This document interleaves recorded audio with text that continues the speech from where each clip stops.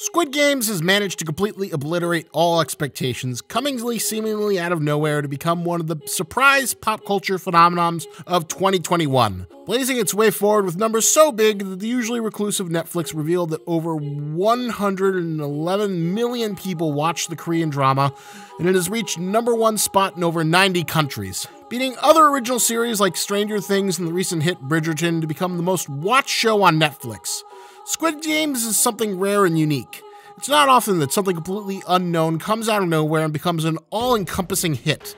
People began clamoring for the Squid Games guard costumes, Dalgona candy, and of course, numerous tributes and parodies that saturated the internet. The Korean drama captured the attention of the world and now holds a grip tightly on the consciousness of everyone. But Squid Games isn't unique. Fans of the world of Asian cinema are more than familiar with the concept of a battle royale death game. We've seen it in numerous other series, like, of course, the original GOAT, Battle Royale, Kaiji, Alice in Borderland, Danganronpa, Future Diary, Platinum End, As the Gods Will, and I guess the not so Asian Belko experiment and Hunger Games. What made it such a tremendous hit that it turned a genre usually only enjoyed by weebs like me into something mainstream enough to be featured in an SNL skit with Pete Davidson? There are a lot of things that made Squid Games exceptional and enrapturing, and the one thing I haven't seen anyone else talk about is how well the games are designed to build narrative tension that keeps the audiences enraptured and engaged. So today, we're going to take a little moment to do a deep dive to appreciate the games of Squid Game and look at how they serve as the ultimate binge-worthy narrative tools. Of course, spoilers are coming. I mean, I don't know why you'd be watching this anyway if you haven't seen Squid Games already.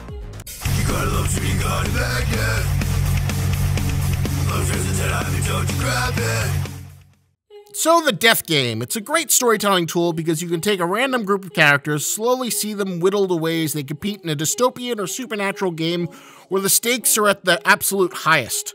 Squid Games has several iconic things that help it stand out from the pack in comparison to its contemporaries.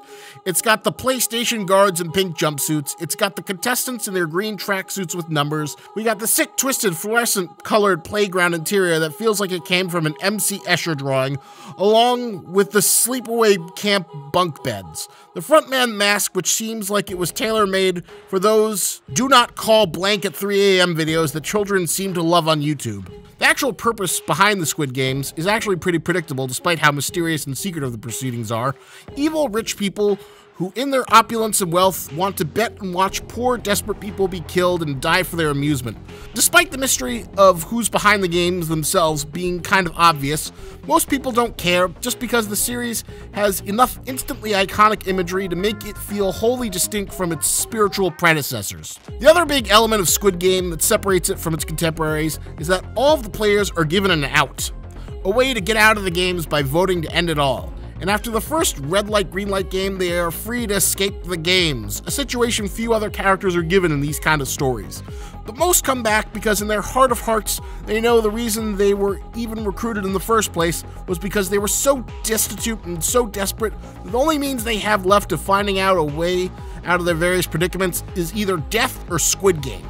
So out of the 201 players who survived the red light, green light, 187 return, equaling a high 93% return rate.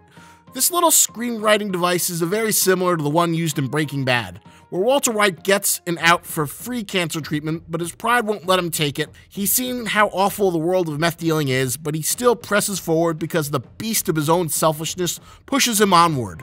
The beast of greed and desperation brings the participants back, so in some ways, they are complicit in their own downfall and doom. The first two games work great because they lull the audience into a false sense of security. Squid Games gives you the fantasy of earning a huge amount of money for playing a few games, but what they don't tell you is that the games are designed to whittle 456 players down to one. If everyone knew the nature of how the games were designed, they'd never agree to participate, but it's this desperation and greed that gets them to go on. The logic is that red light, green light is only lethal if you don't follow the rules. If you keep a steady pace, you can make it, unlike the other people who are slaughtered. The Dalgona candy is also an individual sport where those people with seemingly enough patience can conceivably make it out alive as long as they keep their focus. Of course, those candies break super easily, as demonstrated by a million YouTube challenge videos, but on a surface level, feels doable, and it's an individual contest that can be won through patience and skill. The fact that all the main cast of characters make it through the challenges reinforces the confidence that all the challenges are beatable and fair. But the dynamic completely flips in the third game. This is the one where the contestants are forced to murder each other. Well, technically, the lights out battle that happens at night is where they're first pitted against each other. But let's face it, I blame that all on the douchey gangster guy, and that's not technically a game with a rule set. But the tug of war is when they are forced to make teams and kill each other in competition, where failure means plunging towards your miserable, crushing death. It's here where the Squid Game contestants are forced to fight each other instead of risking being shot to death by one of the pink PlayStation guards. This is a great narrative twist. As an audience, we're already curious to find out what the next game will be, but this changes up the format entirely. Now we have teams being formed where the value is placed on strength. This also builds up to the next reveal of the next game that will follow after, because mutual cooperation is assumed to be a good thing. You want a strong team, you don't want a weak partner to hold you back, and the third game shows the consequence of not having a good team. It's also scary that in the first two games, it was a solo competition where you would live and die by your own efforts. But with the tug of war, your survival isn't determined by your own choices, which makes an already terrifying game even worse, because at least before you lived and died based on your own skill. This twist of players competing in a task to compete to murder each other twists the knife, keeping viewers enthralled. Not to mention how well the tug of war is filmed, giving our team the biggest disadvantage, only having a last minute save in what is probably the greatest Netflix end screen cliffhanger of all time. The tug of war is an especially cool and cruel set piece where the contestants are now put in a position to murder each other directly through the games. This leads to an even greater twist when we get to the fourth game, the marble game, is genius not because it's mechanically interesting, but because it uses the bias of assuming all teams would work in mutual cooperation against each other.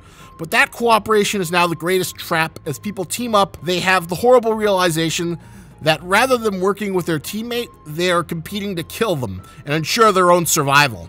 This leads to some of the richest tension as Cho Sang Woo starts out losing and then uses the trust Ali has for him to deceive and betray him in one of the cruelest, meanest moments in the entire series. It's great stuff, a truly effective example of subverting expectations for an emotionally wrenching gut punch that pays off and showcases the true cruelty and horror of the Squid Games. Not to mention that Song Ji Hoon being put into a position where he deceives what he believes to be an old man with dementia for his own survival, as we discover how far he's willing to go to ensure his own survival. It's a gripping twist that works exceptionally well thanks to all the strong character building seen previously, and probably one of my favorite things I've seen in quite a while. And the Marble game is easily one of the best standout moments from the entire series, even if it isn't quite as viral or memorable as Red Light Green Light or the Dalgona Candy. The fifth game is the Glass Bridge game, and this one, in my opinion, is easily the cruelest. The Glass Bridge takes any semblance of skill out of the equation. It's the kind of game that if anyone knew they'd be playing, they would have stayed out of the Squid Games entirely. Sure, Tug of War has you dragging people to their deaths. The Marble game has you betraying the person you trust most, but there's skill and strategy that can be applied to both of those. You can win with wit and skill. There is no skill or strategy here in this game. This is just Minesweeper, a demented game of memory and luck where the only way to win is to pick a high enough number so you don't have to go first. It's almost like a live action version of the Hall of Memory skit from Robot Chicken. Charles, are you ready to enter the Hall of Memory? I am! Then let's play! So, what am I supposed to do? I'm Q, and I don't want to play anymore. you get on in there. Way to use your memory. You remembered that arrow. Well, the best you could do is watch the path forward be made by the corpses of the few remaining contestants, which of course leads to a great drama as various people decide they don't necessarily want their bodies to be used to make a path forward. It's scary because you don't have any semblance of control. It's not the most strategic game, but it is wonderfully mean and cruel way to see how many people can be forced to face their own mortality in a 50-50 split. The final game is the titular Squid Game itself, and it's also my least favorite. It's less a game as much as a bare-knuckle brawl between the ideological opposites of Song Ji-hun and Cho Sang-woo, where Ji-hun believes that they should morally oppose the game and end everything as a way to fight against the system, where Sang-woo believes in doing whatever it takes to get ahead, even if it means he must throw his friends and rivals into the proverbial glass plates. The two ideologies battle directly and get into a brutal fist fight with steak knives, and it's to me the least interesting game, but it serves as the climax of one of the core themes of the series, even if it cheaps out by having Sang-woo kill himself so Ji-hun can win the money by default without being complicit in the murder to win the game's final stage. And there you have what makes Squid Game's game so compelling. Because it's interesting there have been so many death games. Hell, little less than a year ago, there was Alice in Borderland, which was also released on Netflix, but none of them have had the same impact as Squid Game.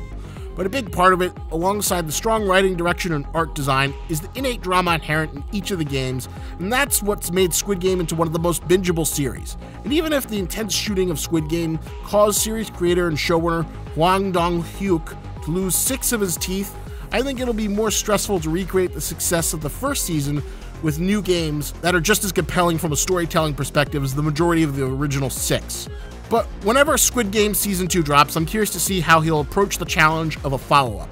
But I hope I've given you a monochrome of insight into what you loved so much about Squid Games. And if you haven't seen it, maybe understand why so many other people love it so much. And if you're already a Squid Game K pop stan, for the love of God, please go watch Kaiji. It's the same shit, and honestly, I think it's just as entertaining as anything seen in Squid Game, with even more drama and deathly gambling games played for the entertainment of evil rich people. Hope you enjoyed that look at what makes the games of Squid Game so great. I'd like to take a moment to give a special thank you to my own set of personal VIPs. They may not be evil billionaires who bet on desperate Koreans fighting it out in a death game for their own amusement, but they are the billionaires of my heart. By using their funds to support me in my own personal Squid Game as I fight an ever losing battle against the YouTube algorithm. Watch out, Mr. Beast. I'm coming for you. I'm just 74 million subs away from catching up but they are the people who help me make the content you stumble across occasionally on your YouTube homepage. And they are Joseph Malty, Aaron Tony, Carla Hoffman, Walking the Steps, Bari, Shonen Ronan, and Eric Duhane. Thank you. To me, your dollars are worth the millions that the VIPs use to bet on poor Koreans. Thank you for betting on me. You can join them by supporting my Patreon. Hope you enjoyed the video, and see you whenever my next one is ready.